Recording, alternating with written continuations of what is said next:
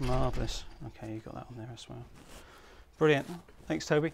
Um, yeah, so 10 minutes just talking a bit about RoweIT, where we are, what we do, the sort of work we're, we're up to at the moment, a bit about our culture. So you hope to get some insights into, um, um, you know, us as, as, a, as a company. So, yeah, um, Okay, so we're a software development consultancy.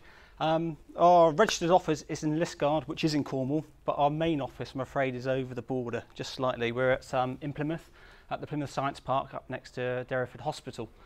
Um, we're currently 12 strong as an organisation, and we predominantly do software development, software engineering projects, which sees us um, working with API management solutions, systems integration, um, a lot with cloud transitioning, Toby talked about that um, earlier, as well as um, a lot of R&D to do with interoper interoperability standards and data exchange.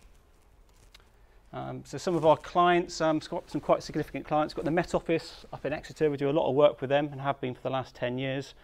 Last couple of years, been working closely with the Hydrographic Office up in Taunton. Now, not a lot of people know about them, but they're a bit like the Ordnance Survey of the, of the sea. They part of the MOD and um, they, they map under the ocean. Um, doing a bit of work with NATO, uh, me and a couple of guys from the team um, out in Poland um, last year and doing some wider stuff for MOD and a few private sector organisations as well. Um, tech stack, um, some of the sort of quite popular technologies um, that are out there at the moment. A lot of HTML, JavaScript, Angular at the front end. Doing a lot with Java, Spring, um, large databases at the back end.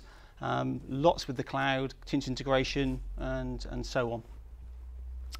Um, so where are we applying these? Well, we talked about some of those clients earlier. I've got three slides which really gives us a bit of an insight into um, the kind of work we're doing with some of our some of our clients. Um, so do a lot with the Met Office. Now the Met Office, you'll probably know, weather forecasting, climate research. Um, big investment over the years with supercomputers, and they've pretty much the, the, the weather sector has really led a lot of um, high performance computing over the years. Um, they've recently replaced their HPC. Um, I think it was 97 million uh, investment in, in, in that system. Um, and they produce a lot of data. They do a lot of number crunching. Um, so one of the systems that we've been involved in for the last 10 years is an archive. So these forecasts come out of the supercomputer a number of times a day. The scientists are working on climate research projects. They're producing some really big data sets. Um, the archive at the moment is over 30 petabytes.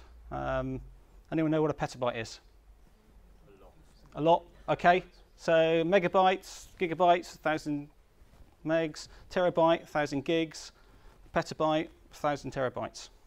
Okay, so pretty large stuff, and that's growing.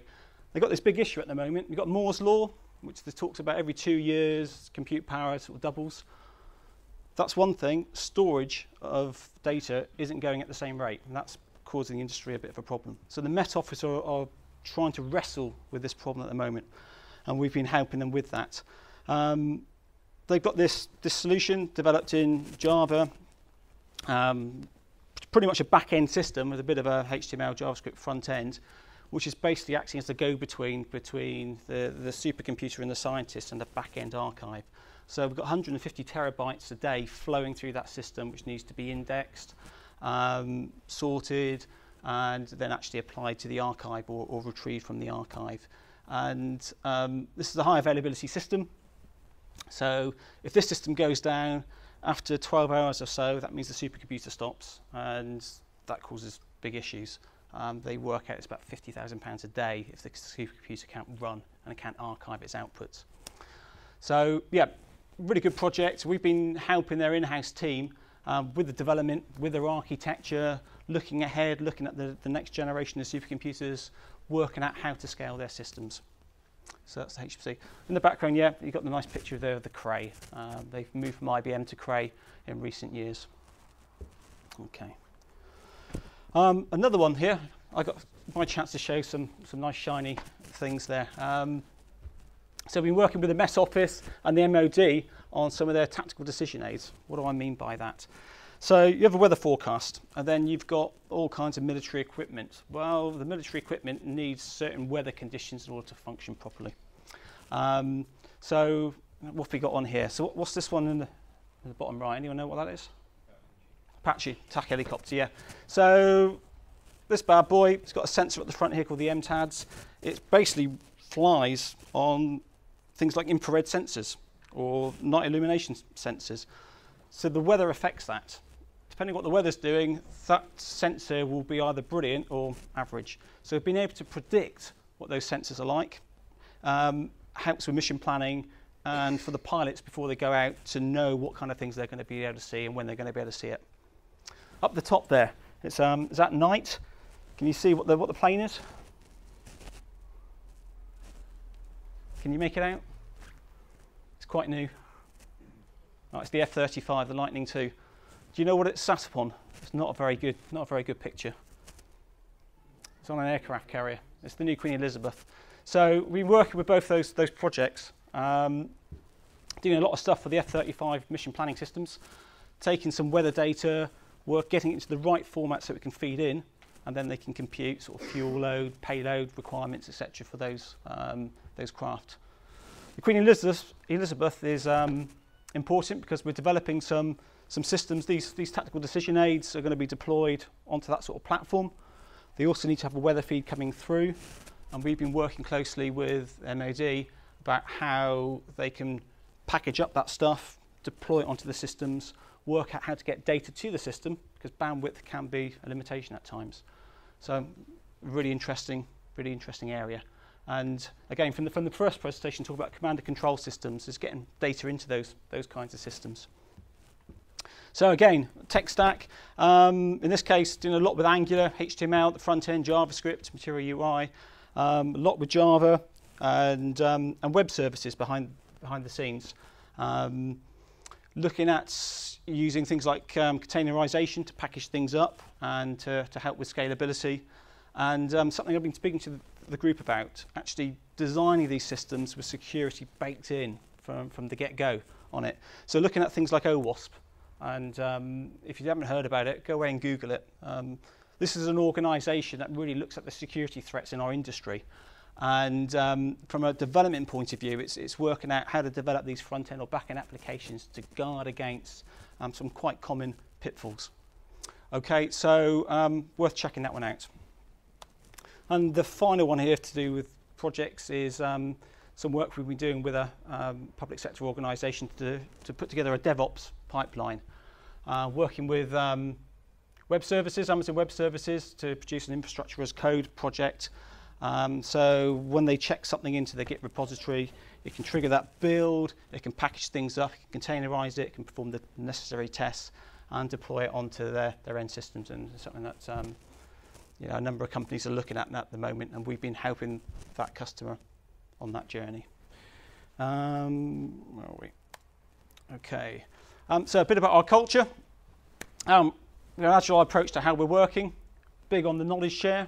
Uh, we have the thing called Pizza Fridays where somebody in the group will, will share some knowledge with the, with the rest of the team um, of a particular topic. It could be about a current project or some emerging technologies. Um, we're very much about having a growth mindset in our organisation.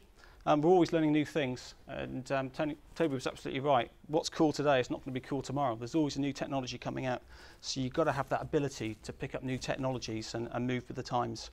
Um, a lot of our training is done through, through conferences, so Agile on the Beach. Um, there's a guy there supporting a RoweIT bag, so I've got that one in there.